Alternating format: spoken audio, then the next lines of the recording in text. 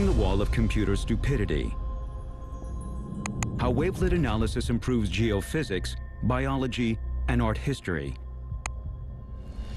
Ingrid Daubechies, Duke University. When the wall fell, I was at Bell Laboratories in the state of New Jersey. I remember a general sense of incredulity.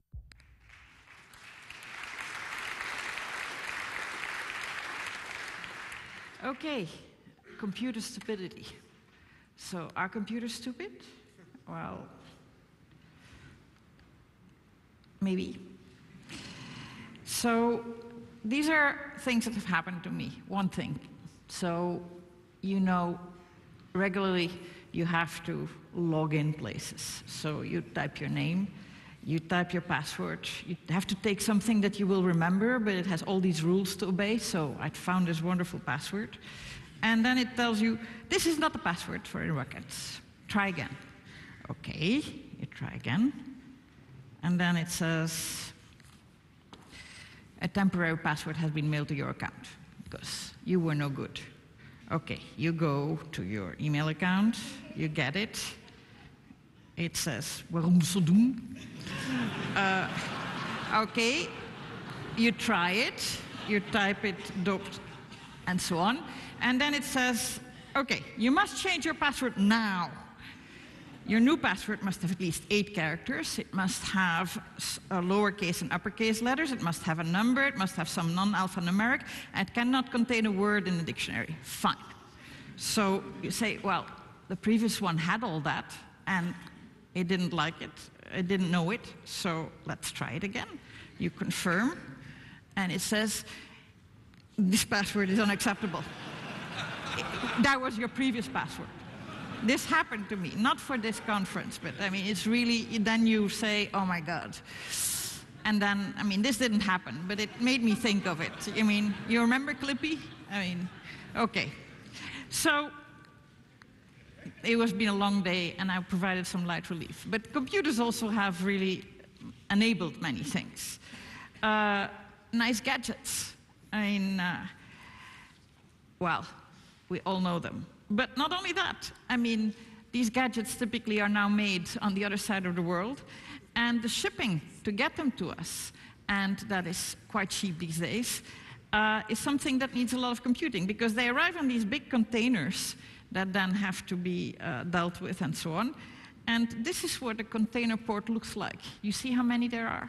To keep track of all that without very powerful computer programs, of which actually Berlin is one of the world experts, uh, uh, would not be possible.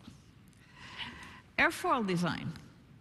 So this is how the Wright brothers did it. Earlier this year, I was at the Ben Franklin Museum, and they actually showed me the things that the Wright brothers. I actually had no idea that they had done experiments, but they had these tiny little airfoils that they of different shapes on which they did little experiments with a fan and so on, and measuring how much it pulled or not. And that's how they decided on, on the, the shape of the airfoil. Now, wind tunnel experiments these days are much, much larger. But these winglets, these very uh, particular shapes of wings where the, the, the tips uh, uh, uh, go up, these were not designed with wind tunnel experiments. I'm not sure that with just wind tunnel experiments we would ever have gotten there. They were designed via scientific computation. Okay, lots of computing, also very nifty mathematics and all that. And I'd like to uh, uh, show you a couple of case studies in which I'm involved these days, which involve using computers and actually bringing it to scientists, in some cases who are quite used to computers, but as we uh, go on to, to people who are less and less connected to the computer, but who, for whom we make, make things possible. Okay, global tomography. Um, you can find on the web a record of all the large earthquakes of, in this case, uh, the last, last four or five years, where uh, the, uh, uh, uh the color gives you uh, the, the, the age with respect to the day on which you look it up, and the dimension of the circle, the magnitude of the earthquake. All these earthquakes are, and, and of course the center is where the earthquake took place. All these earthquakes are measured by many places, many seismic uh, uh, stations around the world, And you can look all up all those seismograms. And in fact, uh, with these, these very large earthquakes, I mean, you can see that they uh, uh, can originate far away and you can feel them on the other side of the Earth.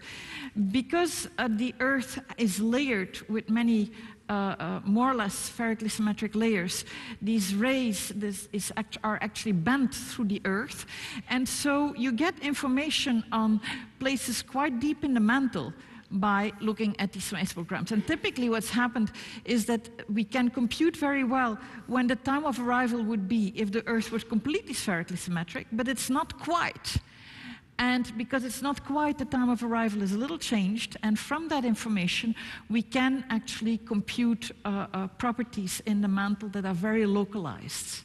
Hot plumes, bigger hot upwellings, like under, under southern Africa, and uh, Okay, now how do you analyze? I mean, you analyze typically when you talk about functions on the sphere, you use spherical harmonics. I mean, mathematicians and physicists are, are, are know them very well, and, and, and geophysicists, and, uh, and love them a lot. And they are very good for things that live on the whole sphere, and that have a certain pattern. So a function that looked like that, where blue is negative and uh, uh, uh, reddish is positive, on the Earth, on an Earth map and Mercator projection, would be very easy to express in spherical harmonics. But we're now talking about things that are very localized. And so what uh, we are doing is we are building special uh, uh, wavelet type things that make that computation that are much more uh, uh, uh, tailored to short, to very localized functions and that help us analyze and do global tomography like this. And it's ongoing to be continued. Another case study, functional magnetic resonance imaging. Uh, we use similar localization techniques to improve our reading of functional magnetic resonance imaging that are used by neuroscientists to understand brain function. You've all seen this in scientific uh, uh, uh, papers where, where they show you a brain that lights up in some spaces when they were, people were asked to perform a certain task. Okay, first of all, brains. These are two human brains. And uh, all brains look uh, they're folded. I mean, if you took the surface of a human cortex, you would get us an area that is uh, about half a meter by half a meter, so uh, a quarter uh, meter squared. And uh, all that is folded up in, into just that one little skull. And uh, the folds are different for everybody. Look, I've followed here on these two brains one particular folding, and you see it's very different. Uh, typically, what's done if people do experiments for certain tasks and seeing how people uh, uh, uh, uh register them is they take the data and they already kind of, it, it, imagine the, the, balloon all folded like that and they blow it up, they inflate it in order to get all these wrinkles out because the wrinkles are different for everybody. But of course, by doing that, you distort the data. And so we have developed, and uh, uh, uh, this is also ongoing, uh, special wavelets that are that use a, a, view of the cortex for each individual uh, uh, subject, and build wavelets that manage to localize on there in order to get to a much more accurate reading of the fMRI experiments. And here are, in fact, uh, uh, is on the left, you have what would be done with a conventional analysis, and on the right, the same data, but because we have these much better localized data, we are able to capture much more precisely what the connection is, what, what the activation is. And again, it's to be continued. Uh, next, what we will do is we'll look at function for different uh, subjects in order to do registration rather than using the geometry, which is not perfect since brains do look so different for different people in order to understand imaging better. To be continued. Anatomical surfaces. So we are now, I mean, many surfaces we, you've, you've, you've seen in applications, people, you can get something scanned, you can even get your body scanned and then send it to a catalog so that they will get you clothes exactly to your measure. I mean, that's not really science, but. Um, so objects can be scanned, they can be scanned in different ways, and what you typically acquire is a cloud of points. From that cloud of points, we can go to a mesh, a triangulated mesh for the surface. Fine. But so now we have a table of numbers representing the surface.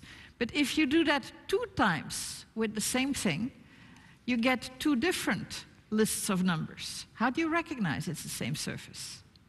Or if it's not the same surface, but they're very similar, how do you recognize that they're so similar? Or if they are two things that are inspired by the same thing. I mean, here you have a real beetle and a dinky toy beetle. And the dinky toy beetle actually is different in proportion from the real beetle because it didn't look right. It's shorter. I mean, it's more squashed. Otherwise, uh, I mean, a real beetle is really longer than the dinky toy proportions. But how would you quantify that? I mean, that kind of difference from these point clouds. So we developed mathematics that use both local and global properties in order to, uh, uh, uh, to, to, capture that similarity, to capture distance between surfaces. Um, let me give you an example of where we apply this to biology. So um, people who work on the phenotypes, not the genotype, but the phenotypes of, of, of animals. Uh, in this case, we're looking at different uh, bones in, in, in, in mammals. I mean, we have molars, and we have a, a, piece of radius, and we have a metatarsal. And I think the radius and the metatarsal have been, been switched, actually. But so they, uh, they study these, and they learn very carefully how they develop, and they, put, they learn how to put landmarks on them, which are uh, visualized here with these little colored dots. And then they look at these landmarks and how the landmarks change from one, uh, uh, uh from one uh, sample to another. Uh, it takes a lot of training to do this, and then it takes a lot of drudgery in order to really put those points on and then make that comparison. Um, the problem is that it's really not only the local landmarks, but the whole global organization of them that uh, decides that, that guides the, the, the, the biologist in putting those landmarks. So you need a lot of training to do this, and it's not very reproducible. And so uh, geneticists don't trust this. I mean, they say the, pheno the phenotype people uh, are very frustrated by this. Uh, what we have done is we've developed methods that make it possible for us to compare when we have two samples, the whole global geometry, and that make possible for us to define mappings from one to the other, which we can then, in order if we want to test it, use it, and this shows how, given such a mapping, we would take the landmarks, put on by the biologist on one, transport them to the other, and you see we end up some, with something very similar to what they do. Of course, it's not our goal to transport landmarks. We want to get to a method where the landmarks wouldn't even be needed. Uh, this is a paper that was just published, and it's, it's uh, uh, biologists are being very, I mean, some biologists are very excited by it. Finally, to be continued. Finally, here I'm moving the furthest away from people who uh, are used to uh, working with computers and programming computers. Art historians. This is a case study in which we were given uh, uh a lot of uh, paintings by Goossen van der Weyden, who was uh, the grandson of the much more famous Rogier van der Weyden, who was an early 16th century work, painter and who had a large workplace in which he had an unusual number of apprentices. Um, as was usual in that time, uh, there were underdrawings under the paintings. And he used different styles of underpaint, of underdrawings. And people thought, well, maybe this was because of an evolution through his career. And then they found that paintings in the same period might have those different styles. So let me show you underpaintings. So here are four samples. On the left, class one, you see little parallel lines indicating shading, like a woodcut. Uh, you see them mostly where they were indicating something that wasn't uh, present, like shading in exactly that form in the painting, or when the, the when, when the, the, painter changed his opinion in, in making it, so when a mistake is, is corrected. So on the second class one, you see that the nose and the mouth were placed in different places. You see the underdrawing, and so you also see on the throat these little parallel lines that uh, uh indicate volume.